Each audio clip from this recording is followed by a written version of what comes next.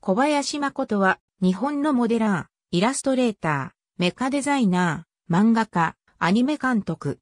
代表作にドラゴンズヘブン、迷宮都市、未来兵器エース、アイスなどがある。東京都出身。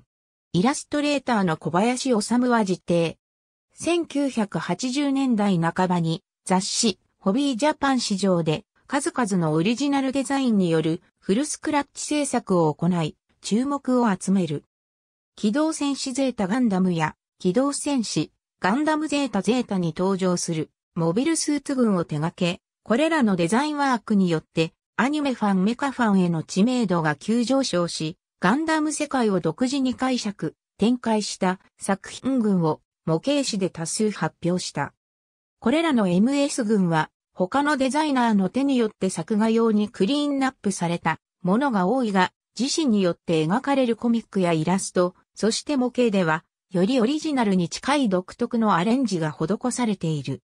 その中でも、ジオーとバウンドドッグは、ガンダムから離れて、世界観の異なる諸作品にも、ジオやガンプとして、スターシステム的に登場している。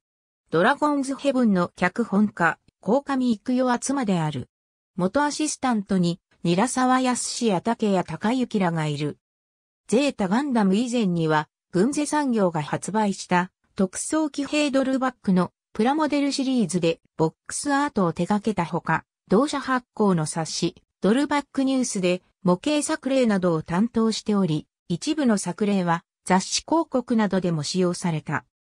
もともと立体物やコミック、イラストといったものを複合させた作品群においては、セルフプロデュースセルフディレクションを行いながら活動を続けていたが、1990年代以降はアニメーション演出の分野にも活動の幅を広げており、監督作品としては、秋元康と組んで制作したシックスエンジェルスやアイスといった作品が挙げられる。また、宇宙戦艦ヤマト復活編には監督代行、宇宙戦艦ヤマト2202愛の戦士たちには、副監督としてそれぞれ参加している。ありがとうございます。